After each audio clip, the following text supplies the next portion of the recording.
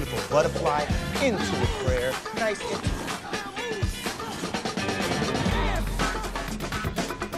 We'll be right back with the Heat leading by 11.